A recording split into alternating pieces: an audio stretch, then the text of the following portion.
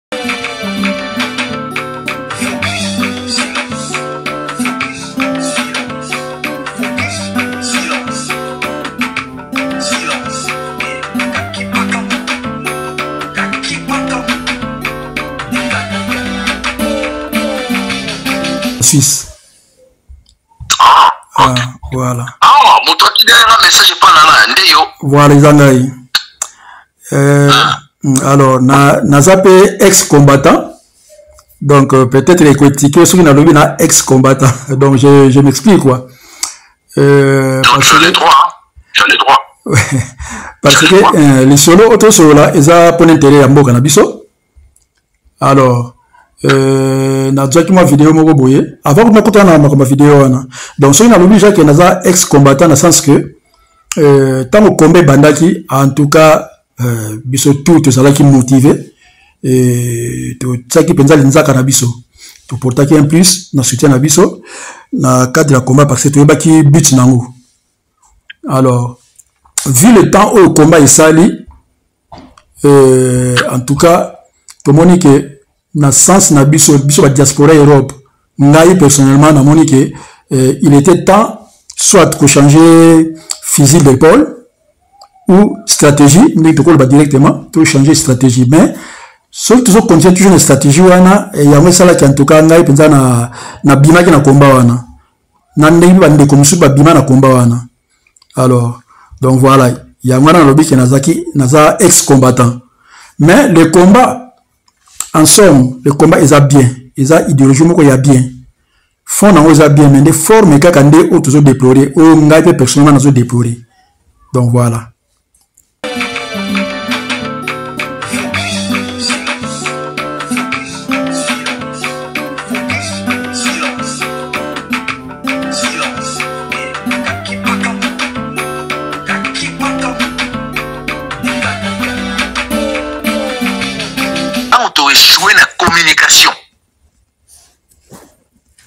Boketshu camarade ya Nana oyo basibisaka bango azwi communication wana akomisi yango affaire na ye a désorienter ba congolais ah bon bien sûr ah oui a désorienter bango mpo bakomprenaki ke awa eza kopa mbongo na oliaka mwa mike mike na nga abimi na image ta obundela mboka or en réalité azobundela mboka te akomisi yango affaire na ye sikoyo bato oyo bayelaki bino discours ya bien mpo na baoriente bino ye akomi kobeta bango masasi aobeta bango masasi ndenge nini bato bazalaki na kinshasa oyo banda olinga ngai te banda olinga ngwanda te baokota na nzoto ya bokecu baopesaki ba 500 euro 1000 euro ye asalela biso bavideo etie bino na confusion mhm. etie bino na confusion na sens nini ke bozoyeba te lini nino tokolanda boke na je na ye ntango bapolitisien bamoni ngwanda akufi oyo ye bande koya kofingaka mpo azwaka ba 500 euro akontinue sikoyo kosala kombani ya kobwaka bato mabanga bapesaki ba 50 euro congolaise congolais eh, bambote na bino partout epai bozali nauti koyokisa bino audio oyo ezalaki lisolo ngai na ndeko moko ya combattant tozalaki na sœur moko boye na telefone topartageaki mwa conversation oyo kaka na sense ya combat alors le ndeko wana oyo nasololi na ye azali combattant monene oyo ayebani j'espère que baye bayoki voix na ye oyo bayebi voix na ye bayebi de qu'il s'agit donc aza combattant moko avai na france donc hormis bato oyo batika combat oyo bazalaka mpe bagrand prêtre ya combat awa na diaspora ya europe bato oyo balongwa na komba bakenda na bango kisasa bamosusu bachange mpe stratégie me ye atikala na boketshu oyoki atangi nkomba boketshu nakotanga nkombo na ye ntango nakobimisa conversation nyonso libandeli ntina suka oyo natalisi bino nayokisi bino kaka extrait mwa ndambu bozwa mwa idée ke prochaine émission na ngai nakosala yango nakotia conversation nyonso ndenge tosololaki epuis bokoyoka baargument oyo abimisaki mpe bokoyeba soki eh, objectif na ye ezali nini na kati ya komba oyo bien ke komba sesila nango komba sesila kaka ndenge tolobaka ndenge mpe toyebeli oyo batiki na kati ya combat baosalela cope na bango e na masolo na biso oyo tosololi bokokomprendre soki mpenza azosala combat e soki mpenza il ne s'agit que de leur cope donc bokokomprendre bien bien jusqu'au fond mais actuellement nazali euh, intéressé na video ndeko alex mboma l'ingénieur asali en ce qui concerne complot contre fali alors sans plus tarder nakotikela bino video ya ndeko na biso ingénieur mboma comme ça toyeba makambu auprès ya fali ezolekela ndenge nini alors ba warrior ya monde entier bozala prêt et puis bo partager video oyo ya alex mboma ndenge ye moko mpe alobi et ça va de notre intérêt kopanza video yango bato tu bazala au courant na complot oyo balingi bamonte contre fali bolanda titre oyo ngai natina liboso te donc voilà allez check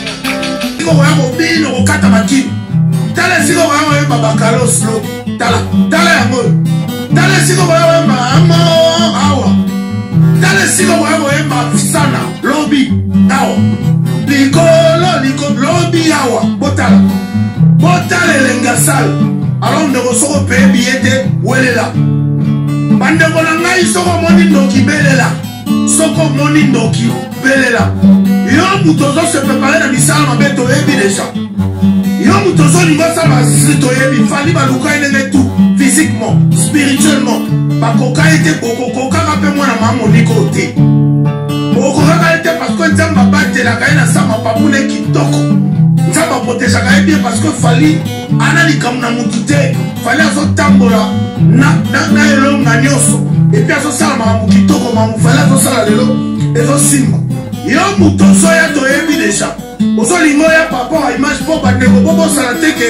londre wana eza mboka moko mystique ma eloko eza te bawarior toujours à l'attaque bawarior toujours debout lobi plein ekozala na ovo yo moto ozosala baklike okoyoka solo kosuba na bilamba okosuba na bilamba okofiba lisu te kotoboka yo osubi olali okufi fali osala plein fali osala plein nyonso ozala rendez-vous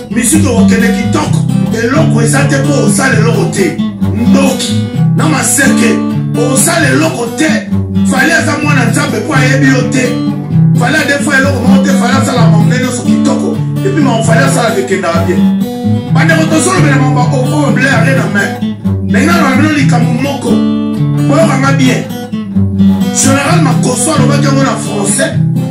me nga naye kolobela communauté na biso bacongolais nakoloba ngo na lingala mpena ntango na diamamemami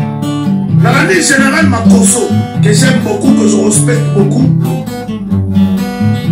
alobi eloko moko toko néglige te bandeko boyokanga bie bozwa bakiti bovanda bopartage partage lenga na lemission na tie na pose avant naloba likambo opartage mission rapidement bandeko général makoso alobi eloko moko très très très important oyo toko néglige te fala tobetela biso barena fali atala badule ebele fali ala mambo ebele akosala me boyaka plan ya moyini moyini azobongisa plan moko ifo tobanda deja kodenonse s'il vous plaît ngai na bandi deja kobelela na likola ngomba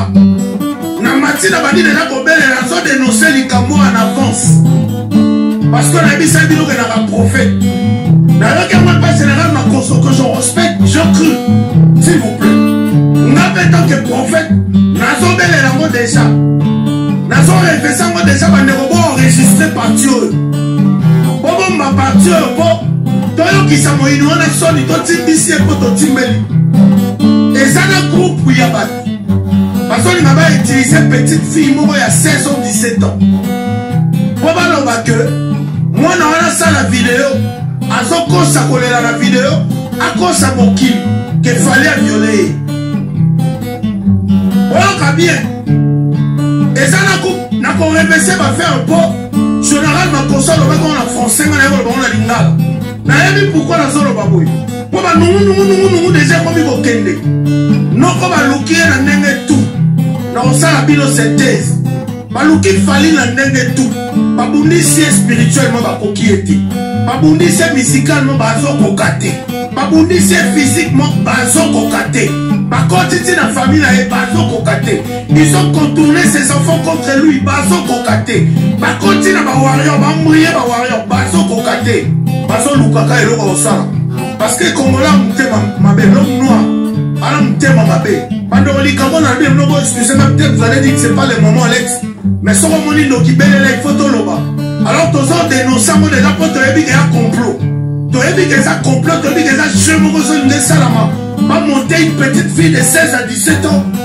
mpo aya kokosela fali likambo ya viole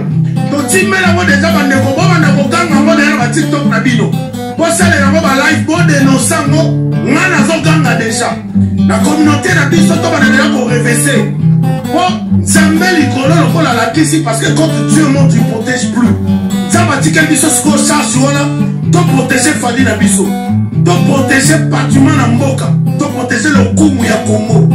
alors oza kongole kotoza banda deja kokanga na likambo oyo bino bamama botyaka libumu na se bosambelaka mpo na fali bomatisa lisusu bapriere mpo na noko oyo parce oyo baresite azosala baexplo azosala ezolalisa moyini te baexplo fali azosala ezovandisa moyini kimia te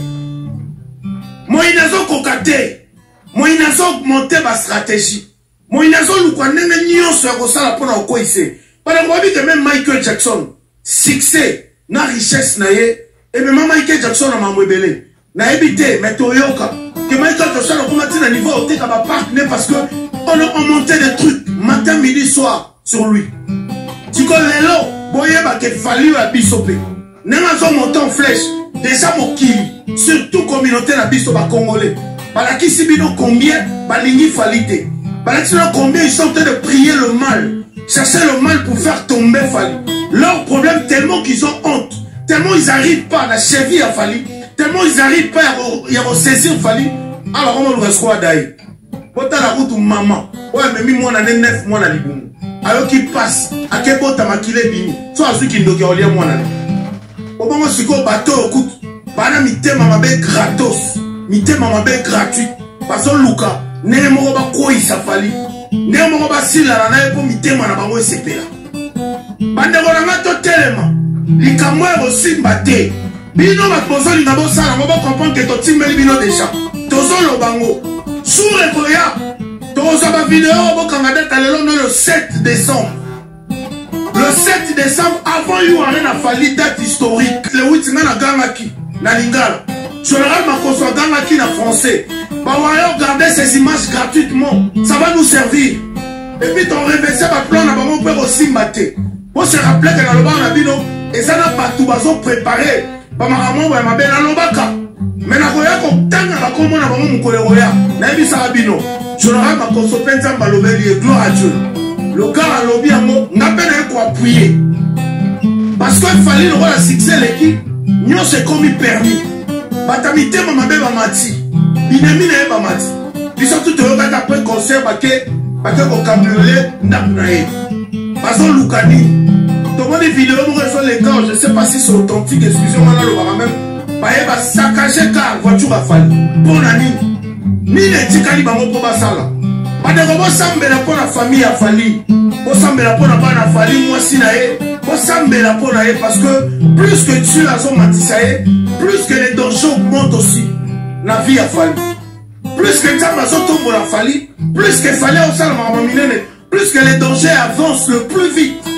na bomoi ya fali alors bawayo hormis tout ce que nous avons comme programme n'oubliez pas de mettre fali dans vos prières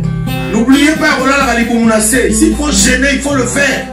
parce que lelo so tozangi ye tokozwa fali mosusu te kongola alakisa biso plusieurs fois que ils sont fous ils sont prêts de faire du mal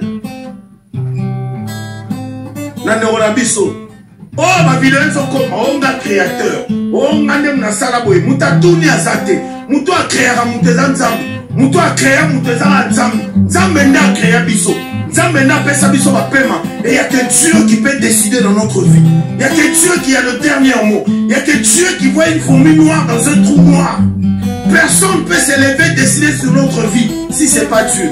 alors Dieu nous a créé comme étant des sentinelles pour la bandoko na biso toza ba sentinelles afali pour par la famille warrior levez-vous prenez vos armures eh, nga na lokola son baptiste nga nayaka koganga na kati ya mai nga nagangaka likolo ya ngomba mpo nalamusa bino prenez vos boucliers le warrior vous est déguerri pendant tozoya lobi na yo arena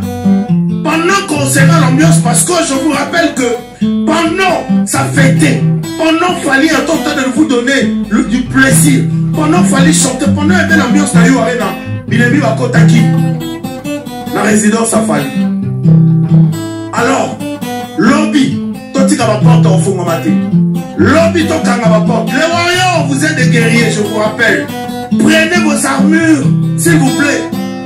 prenez vos boucliers sécurisez le périmètre ngai nalobaka na bino kaka boye guerrier amelaka mai motu na se te aigle akozala likolo ya podium lobi aigle azokɔta na bazone de turbulence aigle akomi kokɔta na bazone de turbulence totika ya kende prepare asala comme bien biso bawarrior totelema tozwa baarmure tozwa babouclier tosécurise périmètre parce qu'on est de guerrier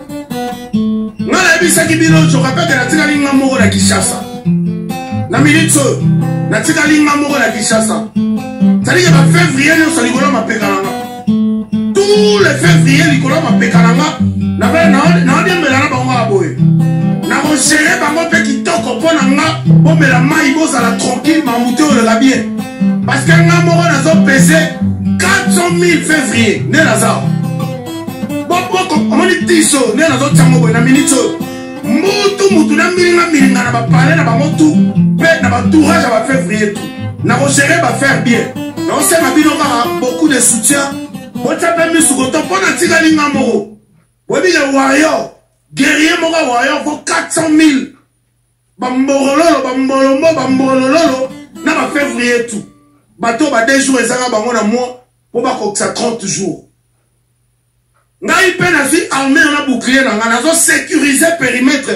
ndenge botiki ngai nakangi bafrontière tout nazo sécurise périmètre kitoko moto akoleka te moto akokota te totelemi zalike naza kolenda ngai na ekipe na ngai mobimba toza na bespectacle ezali ke armire na militio nde bozomona nga boye nasumboma te natondi na armire sedi naza ya kopola na baarmire naza ya kopola donc naza ya kotonda naza bien blende et je ferme toutes les portes parce que je sais que mes frères mes soeurs ne sont pas là papa aussi n'est pas là bandeko baza te parce qu'ils sont partis fêter quelque part et moi qui suis resté surveiller la maison nazo gérer masolo nakangi baporte tout epuis naolala te naa wana ozake oye na nzete nakomona yo oye na se nakomona yo sote mire na mona okoti na mai sokoya na molimo tokeno na molimo donc naza pene ya kolenda bomele ngai bolala pongi ya babebe bolala kitoko edi badiata bato tour ya victime bolala pongi kitoko mpo ao nazo gere masolo ntina gramaliki kuna nyonso eza gere nyonso eza bien na cadre donc boreflechir kitoko boponi mpena moto amu ya otika eza nenga mpo nga wana kokanga baperimetre tu mpo nga moko nazopese nga moko nazala maboko ebele miso ebele makolo ebele nyonso eza ebele ti bongo na ngao